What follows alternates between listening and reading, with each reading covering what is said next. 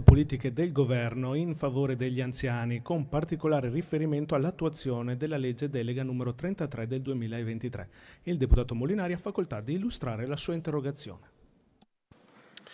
Grazie, signor Presidente del Consiglio. I dati sull'invecchiamento della popolazione italiana sono inequivocabili. Il combinato disposto dell'aumentata longevità, dell'aumentata durata della vita, insieme all'inverno demografico che stiamo vivendo, ci dà un quadro dove è inevitabile che l'invecchiamento della popolazione sarà sempre maggiore, tanto che addirittura secondo l'Istat nel 2050 dovremmo ad arrivare, arrivare ad avere una popolazione pari tra lavoratori attivi e pensionati. Questo pone il governo e i governi che verranno di fronte a una serie di sfide importanti, eh, sfide che non riguardano solo i temi legati alla terza età di cui spesso dibattiamo in quest'Aula, quindi penso alle pensioni, agli investimenti sanitari, alle cure socioassistenziali, ma ci pongono davanti all'esigenza di rimodellare il sistema di welfare del nostro Paese sulla base della cambiata conformazione sociale che verrà da oggi al futuro. Per questo siamo qui a chiederle degli aggiornamenti rispetto al provvedimento approvato dal Parlamento l'anno scorso, la legge delega 33 del 23, soprannominato Patto per la terza età, che dovrebbe occuparsi proprio di questi aspetti.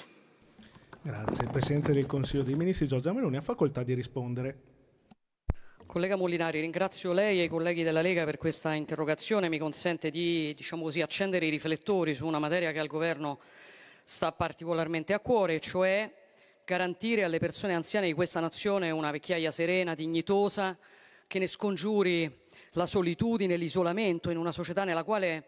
la cultura dello scarto rischia, rischia sempre di avere no, il sopravvento, mettendo ai margini quella che invece è una indiscutibile ricchezza da valorizzare. In Italia ci sono 14 milioni di anziani,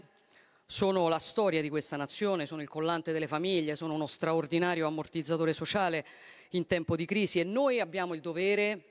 di dire loro grazie e di farlo chiaramente non a parole ma con fatti concreti. È per questa ragione che, come lei sa, sia con la manovra del 23 che con quella del 24 abbiamo incrementato tutte le pensioni attraverso eh, la rivalutazione, con particolare attenzione a quelle che erano più basse, le pensioni fino a quattro volte il trattamento minimo sono state rivalutate al 100% del tasso di inflazione, le minime hanno avuto un doppio aumento che oggi le porta eh, a 614 euro ed è questa la ragione anche per la quale Dall'inizio del mandato abbiamo lavorato per portare a termine una riforma strutturale delle politiche per la terza età, che dobbiamo ricordare è anche un obiettivo del PNRR. Il 19 gennaio del 23 abbiamo approvato in Consiglio dei Ministri il patto per la terza età,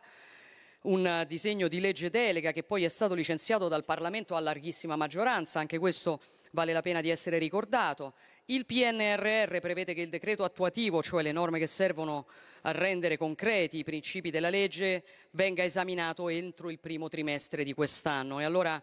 voglio dirle che centreremo anche questo obiettivo e che annuncio che il decreto legislativo arriverà domani in Consiglio dei Ministri per l'approvazione.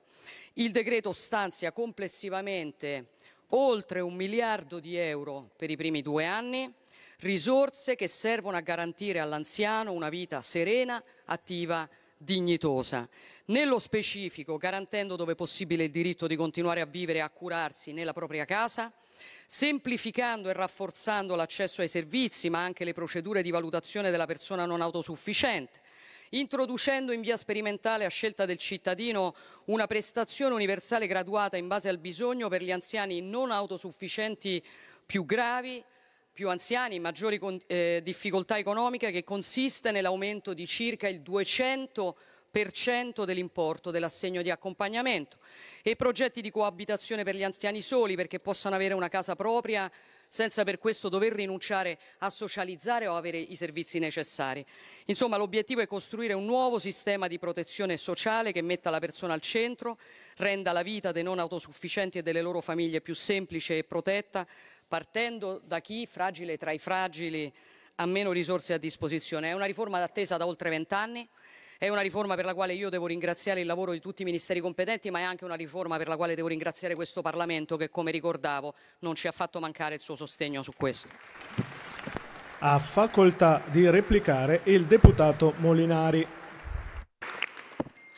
Grazie, eh, signora Presidente del Consiglio. Siamo molto soddisfatti come gruppo della Lega della risposta che ci ha dato, anche perché ci ha dato due notizie molto importanti. Da una parte il fatto che nel prossimo Consiglio dei Ministri arriveranno i decreti eh, attuativi di questa legge delega, quindi si darà forma a questa riforma del sistema del welfare e dall'altra che c'è una scelta del Governo di investire risorse importanti, perché più di un miliardo di euro per il welfare per gli anziani, qualcuno potrà dire che non è abbastanza, ma è certamente un segnale che denota quella che è la strategia di questo Governo di affrontare in maniera sistemica quelle che sono le problematiche sociali del nostro Paese. Questo è un governo che nella scorsa legge di bilancio ha deciso di investire tutto quello che poteva proprio sul sociale e questo è un governo che ha deciso di usare le risorse disponibili per cercare di far fronte a questo invecchiamento della popolazione questo, e cambiare quello che è il trend demografico. Voglio ricordare che le misure sul taglio del cuneo fiscale riguardano tutti i lavoratori attivi e qualcuno potrà dire che non sono abbastanza, mai più di quanto mai sia stato fatto. Qualcuno potrà dire che questo miliardo sul welfare per gli anziani non è abbastanza, ma un segnale che altri non hanno dato.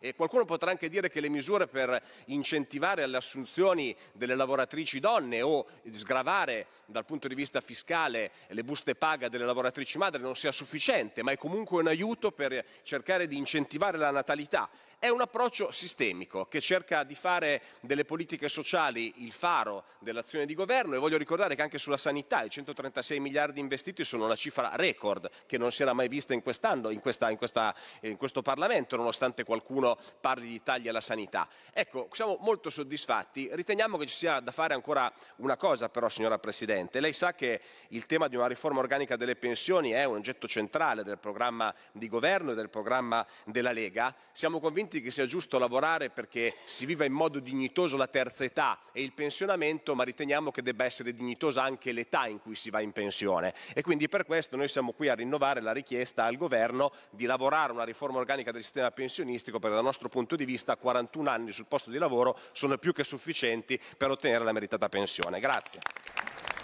Passiamo all'interrogazione numero 3933 presentata ai deputati